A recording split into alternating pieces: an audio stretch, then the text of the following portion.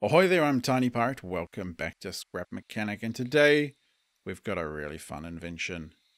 A Katyusha rocket system, as made famous in World War II. I've got a little poll for you at the end of this video. Please stay and watch. I'm interested in your opinion on stuff. The Katyusha rocket system is a multi-launch rocket system. You can see my rockets in the back there, slopping around on the on the deck. Let us get ready to fire them. Alright, where are we? Oh, put a frame rate like there. Okay, system. Let us, first of all, lift up the rocket deck. Alright, all rockets are in position. What shall we shoot? I think we'll shoot this platform here. Alright, are we ready? Okay, let's get a good view. In sequential order, fire rockets. Whoa, look at them go. Oh no, I have to turn them off again. I'll turn them on again. Oh, look at them. I just wish they could explode. No, just fly around the world. Brilliant. Alright. Oh, don't come back at me. No, no, no. Ah, phew. Never mind. And lower the deck and hop out. So what did I just do? Well, I saw a video the other day that was put out by uh, FineshineX. I'll link it in the description. And he showed wireless controls. And I think the person who discovered the actual technique was Brent Batch. Uh, and he had a cool video out as well showing wireless control systems. Others have done similar things since, but I thought I would build this fun rocket launcher system. And what wireless controls basically mean is that you can plop down anything and then control it from uh, another system. So you can do things like build a rocket launcher system and fire rockets at things. It's just a shame they don't explode yet. So if you're interested, perhaps I'll show you how that might work uh, for, say, a small remote control car. First of all, you might need to put down one of those. Uh, we'll put down a control system here. Um, let's have a look we need a block that's connecting a uh, a wireless, well, connecting wirelessly. And, and the way you do that is kind of, I guess, just a hack. So I'm going to put this block here to remind us. And it you need to have basically two bearings between whatever it is you're going to control. So let us now make a small car. Yes, I know you silly car. You are twisty. That is fine. Um, Shall we make it steerable? Maybe we shall. Du, du, du, um, now we've just got to make everything work here. So let me have a little look see. You, oh, hang on. Oh, goodness me. Why don't we uh, just connect uh, you to there and to there for now. That'll keep things from wobbling too much. So we've got a bearing at the back there, yes. And another one. Might want a small wheel. Make things pretty. Really did want to keep that bearing, silly game. That's fine. One wheel at the back. One wheel at the back there. Um, maybe we'll make it a uh, some kind of fancy mono thingy me bobby cycle. Yeah. Put that there for steering a, uh, a block down there. You know, I think that'll work. Ah, actually, what am I doing? Come here. Oh, yep. There we go. Two down. And get rid of that.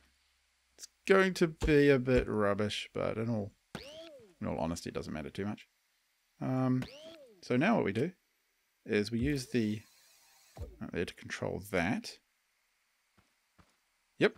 Now we need an engine. I think an electric engine will probably do the job. So this is a really neat little bug. It's um I mean I'm I'm wondering if they're gonna patch it. I kinda hope they don't. Uh, because if they patch it then well, it, it's going to take away a little bit of functionality. I mean, the functionality right now is definitely a bit cheesy uh, and unlikely to, you know, doesn't really make much sense. But if they actually brought in some kind of, and that needs to go onto that as well. If they actually brought in some kind of uh, wireless system, that'd be neat. Okay, and what you can kind of probably see in the background, make sure the wheel's going the right way, is that the control wires actually reach all the way out to the rockets still from my Katyusha. So that's kind of cool. Now, in theory, let's just make... See? Yeah, it's turning. And, oh, turning the wrong way. That's okay. We'll fix that. Um, and now all I have to do, in theory, is cut this block here with the bearing each side of it, sit in here, and we wireless controls. That's really, really slow. Now, if you mess with either of these systems, you're likely to break that wireless link, like if you put something on a platform or what have you. I wonder if changing speed's going to cause problems. That's a really feeble little engine, isn't it?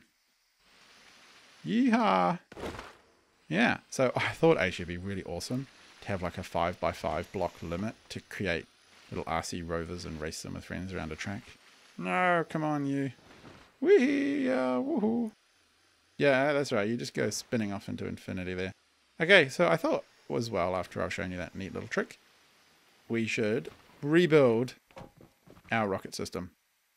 So let me just get the uh, this rocket deleted and I'll park this truck again and then we'll, we'll get into it. So you can see how to build your own rockets that are kind of remote controlled.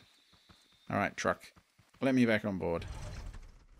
All right, so the truck is parked and we have our truck bed here. It's connected up using, usually, usually, what am I, what am I saying? What's wrong with you, tiny pirate? Using normal sort of connecting-y type things, um, bearings and control box and all that. You don't need to know about that. By now you should be an experienced scrap mechanic player or watcher thereof. So I've set up my box uh, here with a bearing underneath it, connected to a bearing. I think you could probably put that bearing anywhere else on the thing you're going to build because bearing does get deleted. But uh, for now, that seems to be perfectly cromulent way of doing it. Word for the day. Now, let us slap on our rocket bodies. Took quite a while to figure this out because the rocket bodies were way heavy. Uh, and a single jet engine, rocket engine thing usually won't push them along really well. And you have to be careful to make sure, obviously, that your rocket parts are attached only to each other and then to the block, otherwise they'll be stuck to the to the truck bed. And you want them to be able to come loose. Now if I put that, yep, everything's floating free. Good, I can see that when it moved. Ah, get back up there. My build platform. I wish Creative had a flying mode. Uh, it would make things a, a lot easier than failing jumps. That's why I don't play Mario games, people. Alright. Here we go. Oh my, that's just embarrassing. We'll come around here and do it then. Fine, be that way, game. Uh, so yeah, I, I really applaud uh, Brent Batch for discovering this technique. It's really fun. Uh, there's all kinds of things we can do now. I think my buddy Blitz Kriegler has built a tank which fires a sort of a jet engine shell. Actually, did that connect properly? Kind of worried it didn't. Yeah, I'm not sure it did. There we go. Uh, I've seen other people doing similar things. I think the RC car idea, building an RC car race race yard, has been done as well.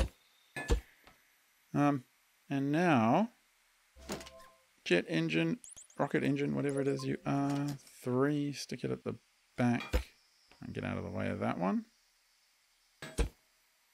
And, uh, uh, come on. Oh, goodness me. Now you got to wire it up. You got to wire it up before you break it. So here are four buttons. And we'll go this way around this time. And uh, there we go. And one more. All right, that's looking pretty good-ish. And now, where are we? Let's make a make sure I do it directly. One, two, the rockets should each be free floating. But before we do anything else, we should put George somewhere. George, where are you? You want to sit on rocket number two? Face forward, George. Going to be the flight of a lifetime for you. I did try putting traffic cones on the front of the rockets. That makes quite a nice pointy pointy bit. But unfortunately, um, the traffic cones... Is that rocket not actually free flowing? I suspect number two might not fly. George, you little tricky guy, you. You set up a rocket to not move, haven't you? Alright, that's okay.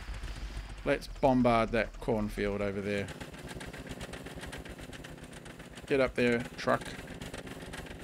Two big engines and it still has trouble getting this thing moving. Alrighty then. Stop. Up goes the rockety thing. Oh no. George is moving. Maybe George is just throwing a bit of weight on it. Here we go. Fire sequence initiated in three, two, one. okay, George is stuck. All the others fly away. Whee! Oh, George, you don't want to go, do you? Oh, now you want to go, do you? Come on. Come on, George. Out you go. No, no. Whoa! Look at that. And you know what the problem is? George has been eating a lot of lunch. He's very heavy. I take him off. And, and maybe give it a bash. Pretty sure it'll fly free. Yep, doing it all by itself. Yeah, that was the problem with the traffic cone. Put a traffic cone on the front and the whole thing just fell apart.